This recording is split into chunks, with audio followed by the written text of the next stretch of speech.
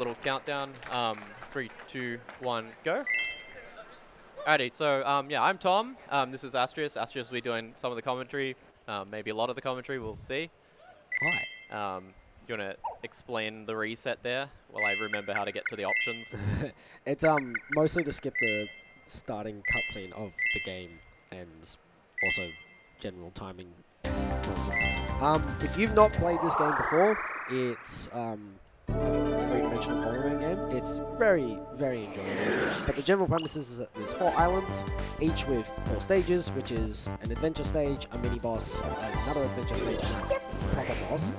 We complete all four stages, and then we get access to the fifth stage, and then it's again four stages, an adventure, a mini-boss, an adventure, and then the boss, and then that is the any percent of the game. Um, full, well, max power is a like setting in the game where Bomberman starts with everything. So he has max number of bombs available to him. He has max firepower. He has remote bombs, and he has superpowered bombs, which the which gives it the red color.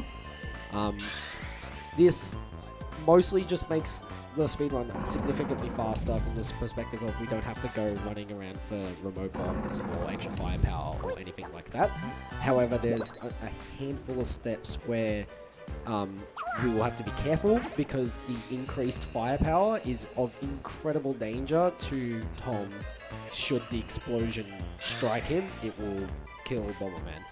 Um, it's got the, the game's got simple um, uh, Where's the thing? Oh, there it is.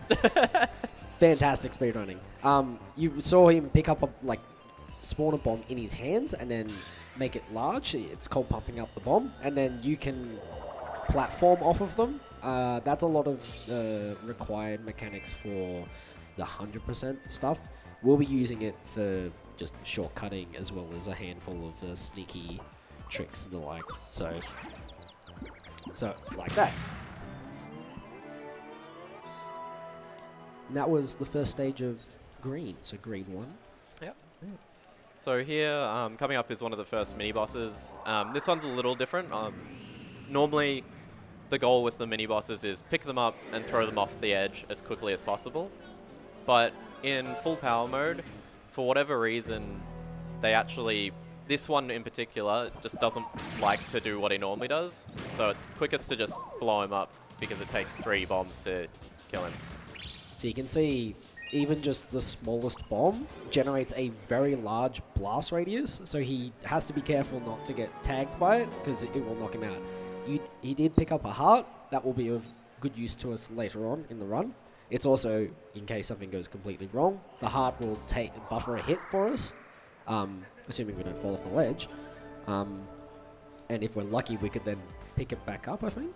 Or Yeah. yeah, Yeah, and so like doing that boss differently, it gives us that extra chance to we can just get a, a heart from him hopefully if it they launch out the right way. Because normally we have to find enemies that have hearts, kill them, and then grab the heart.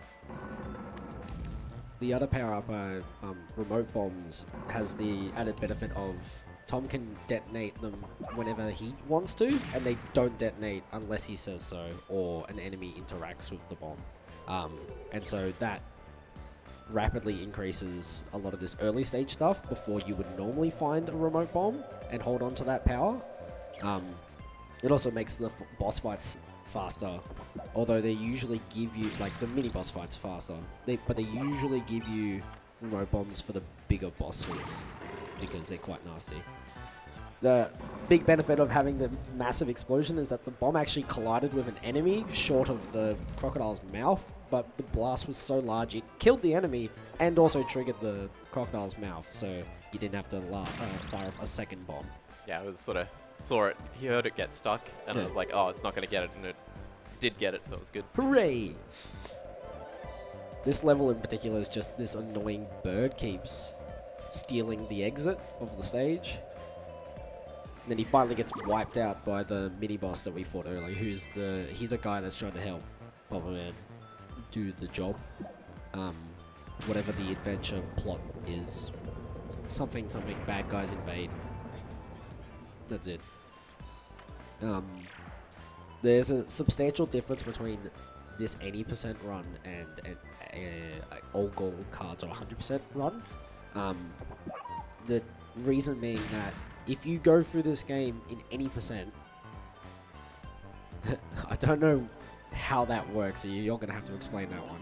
Um, so that one sort of there's this weird interaction on sloped hills, which like those stairs, where if they intersect with uh, the corner of a block, it you can clip in, I think, and it, the game's like, no, you're not allowed to be there, so it pushes you all the way up. So you sort of just zip up to the top of the. That's that probably a few times. one of two uses. That one was found fairly recently, which is kind of cool.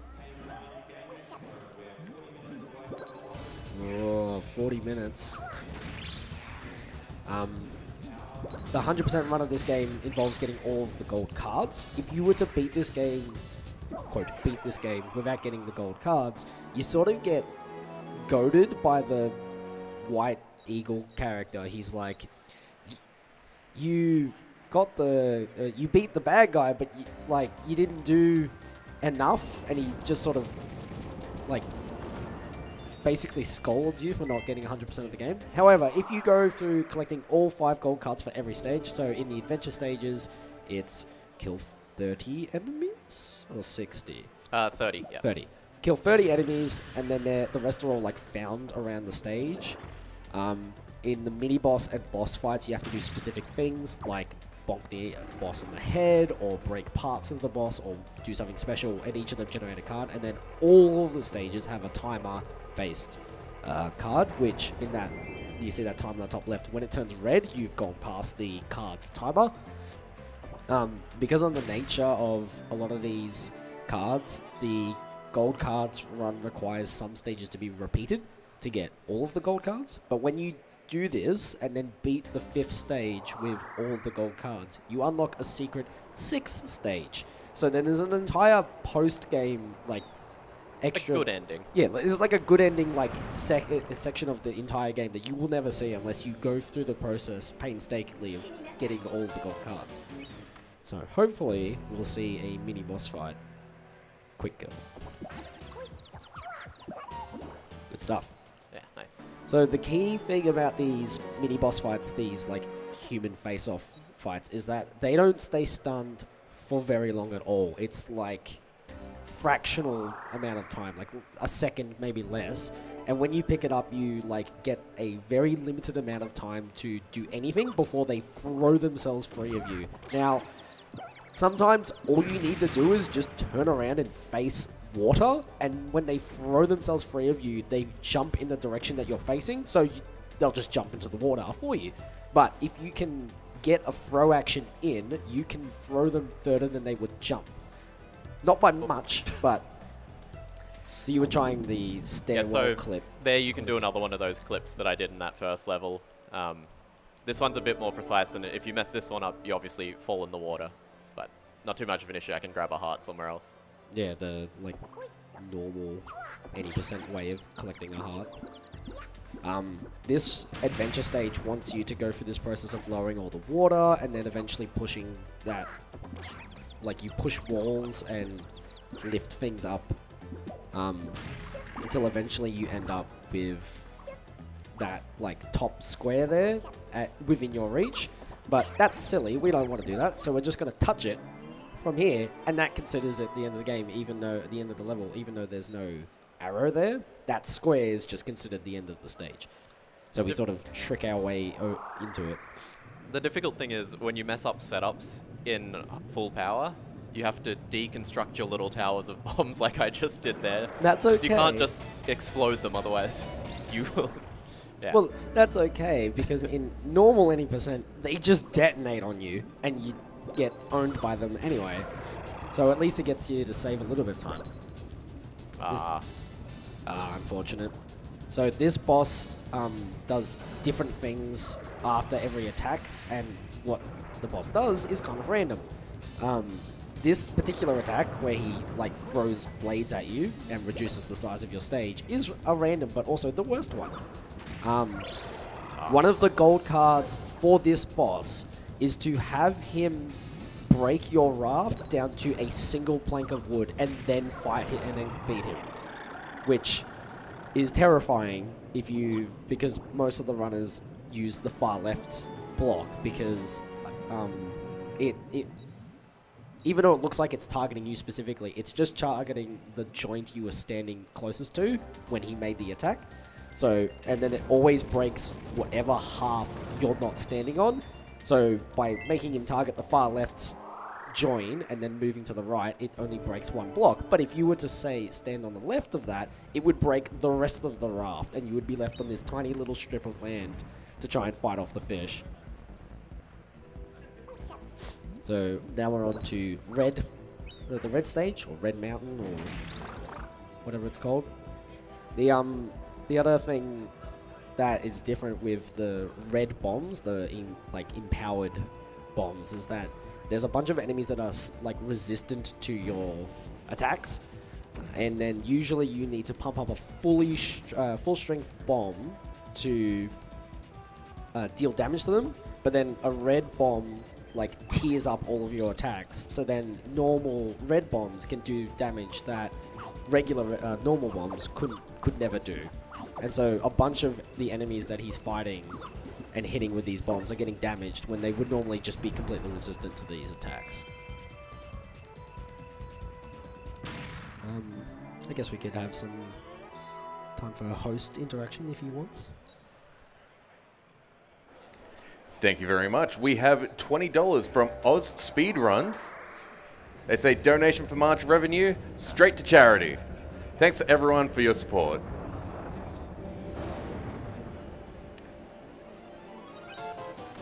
This guy's my least favorite mini boss to fight.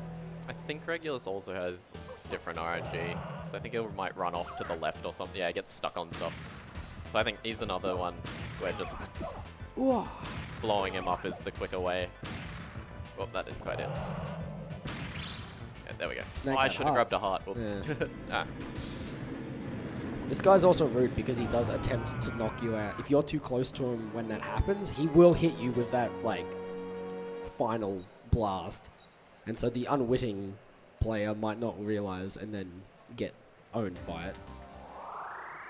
But yeah, all those mini bosses, the the best strat is to lure them close to the edge, tag them with a bomb kick, and then just like throw them off the edge, or like line yourself up such that you can throw them off the edge yourself. Uh, they can jump off the edge um, when they re- when they free themselves. But uh, they're very fast. They're very resistant, and then once you go past that initial like two seconds of the start of the fight, it is a complete random uh, fight, and you can't like unless you get silly luck, you can't really predict that you're gonna be able to tag the mini boss near a ledge. So you just have to knock them out with normal bombs. So this is another example where the empowered red bombs are very useful because those mini car, uh, those minecart monsters are resistant to normal bombs, but a little red empowered bomb kills them. So you can just lay bombs, otherwise they continue to track onto you. and they're having the remote bombs there because they just sit there. They'll just explode when they run into them, whereas if I had regular bombs, they would have already exploded, so wouldn't be able to do the sort of same thing. And then you, you didn't want to like try and do a tricky bomb jump onto the ledge. I've got the big bomb, I can blow it all up at once, it's quick. with Save. the maximum Yeah. radius. Yeah. The maximum blast radius is extremely useful for any of the boss fights because you can just hit like everything. Because most of these bosses have multiple weak spots.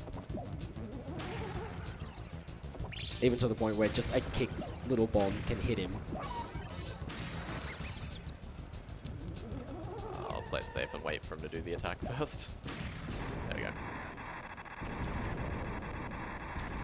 Rude.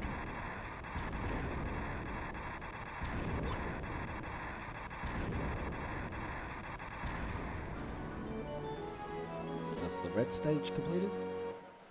Just got the white stage to complete. And then we'll move on to the final stage. I'm gonna grab a heart.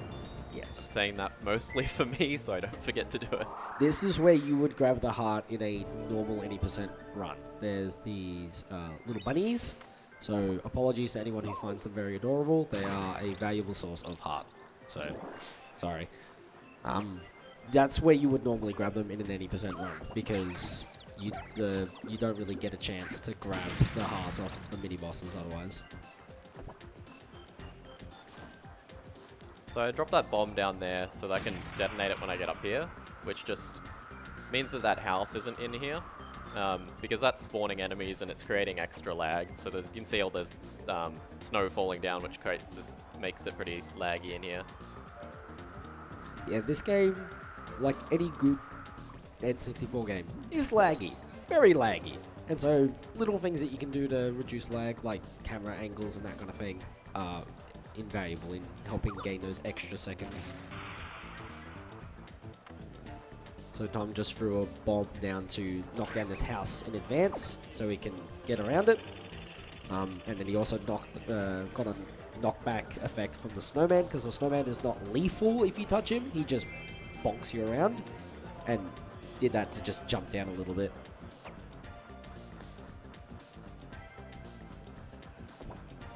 And so these stages look very simple because he's just going from A to B in no time. But the whole point of these uh, these stages is that you, like, as a player, you're like exploring it, and there's a whole bunch of different areas that you can visit, and some of them are a bit more nuanced and require a bit more playing around. But since we know exactly where we need to go and how to do it, we just go A, B, C, done.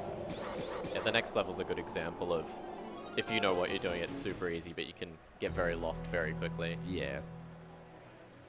So this is the easiest of the mini bosses because he does this particular attack and stops right at the ledge, which makes him an incredibly easy lineup. So, like any any of the categories that fight him, except for gold, all gold cards, um, he's super simple because you just stand near the edge, wait until he charges you, step to the side, knock him off. He makes no effort to preserve himself, and then he runs away. He's like, you're mean. I don't like that. I'm going away. Bye. Oh. Whoa. So that little move there, sometimes the penguins get in the way and it's quickest to just drop a bomb, run into them so they bounce you back onto it and then you can jump over them and continue. The level of swag. So these slippery ice sections where the camera forcibly pans underneath, in all of them, in the any percent runs, you just go forward and you will go straight from your entrance to the appropriate exit you need to and you can leave. So you don't have to stuff around with the awkward under ang- camera angles, which in a, from a casual player's perspective is the source of many woes and probably a lot of lost lives i- with the because there's also the penguins running around and they like to knock you about and the whole stage is just slippery non-stop I just didn't want to deal with that enemy, so I got rid of That's- it. that's fair. Sometimes that one can just sort of be blocking that little ledge and just knock you off the edge, and that's a life gone. yeah he's a he's a tricky monster and then when you defeat him he turns into two little ones so he takes a little bit of time to knock off.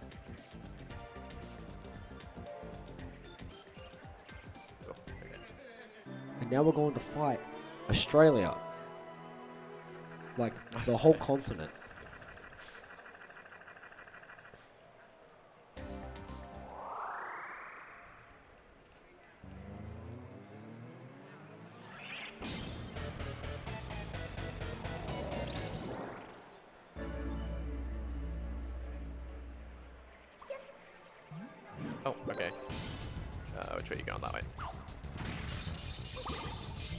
This is okay because it does a lot of damage.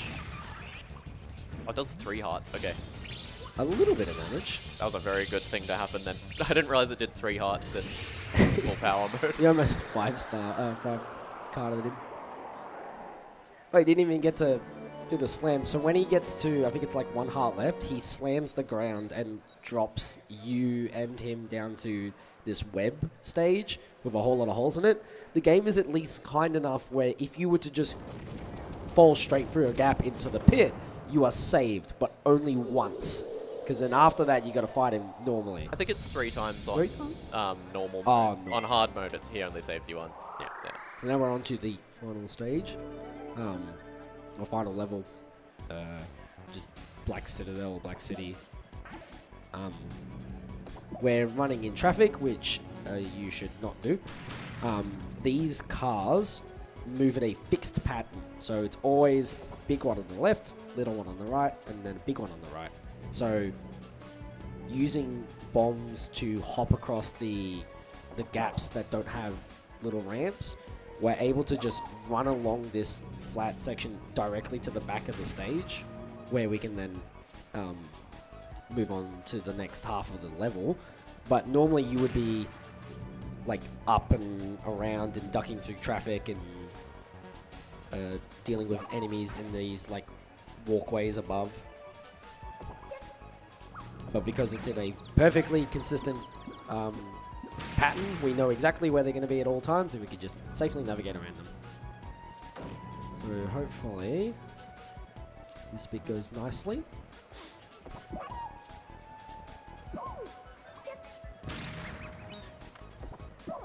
Yeah, cool. Excellent. So, Bomberman is now stuck in an animation of not walking. This entire platform that he's on now is a mini boss fight. But because he's done this weird trick where you take damage, lose your heart, fall a distance, and then immediately pick up a bomb, the the game mixes up a bunch of the animations and basically locks you in place, and it doesn't consider you having entered the area that spawns the boss, but you can immediately exit that like stance that you're in by simply picking up another bomb. And so by doing that, we have skipped an entire like mini mini boss.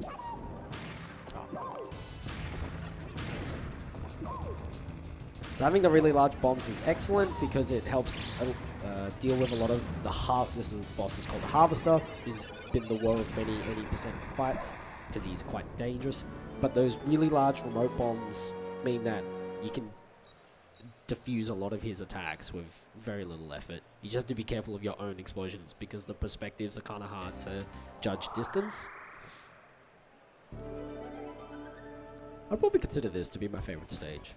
It's just so much happening that It's a big stage. yeah, it's a big stage. There's a lot of um, fun bomb trickery that you'll see. So these um, these colored panels basically trigger like security and lock doors, and then you need to find ways to turn off the security and like open bridges and do all this other stuff. But because we know how to make like miniature staircases and climb objects using bombs, um, rude, we can effectively avoid large numbers of this level um, doing stuff like this. Which makes it a very entertaining run, both to perform and to watch. So this is another example of where max power is a de- uh, deficit because you would normally have just like a little remote bomb and you can just immediately kick it off the side and detonate it. But because your blast radius is so large, you actually run the risk of tagging yourself by doing that. So we're going to use our gentleman here for assistance. By assistance, I mean non-assistance. You're just being mean to them. So you skip that entire like laser grid segment to get to this area. So all we wanted to do was to tag that one little area. And then we make a nice little staircase and get up to here. We were not meant to be up here. We're meant to go through like a whole grid and maze with these bridges and you're pressing switches and all that kind of stuff. And it's like, nah. Just climb vertical objects without a jump button. We Maybe never get nothing spawned up here. Yeah. Sometimes things spawn up there and it's just really annoying. I mean, I guess in full power it's not too much of an issue. I can just blow them up, but it can be really annoying when you're just trying to run through. So that door, you would normally need a fully powered bomb to blow up, but the red empowerment means that he can just kick a small one out. And uh, any time for last run of donations and the like. Well, we don't have any more donations to read out, but just wanted to remind everyone that we are AusSpeedruns. We are a group doing speedrun events to raise money for charity. This event, we're raising money for Game on Cancer, a charity which funds early career cancer researchers who are working across all areas of cancer research. If you'd like to donate, you can go to donate.ausspeedruns.com. Don't swear.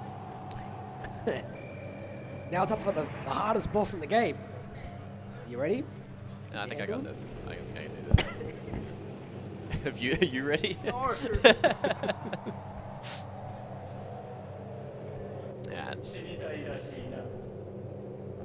This is a two-phase fight.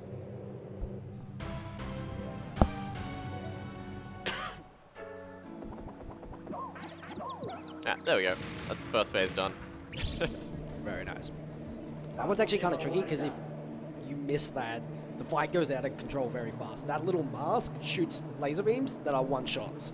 And they're very fast and very sudden. And he, often the mask is off screen, so you don't see where he is, and then suddenly this little laser beam goes, pew, it just takes you out. And you're like, oh. So now he's going to power up, get super strong, super dangerous.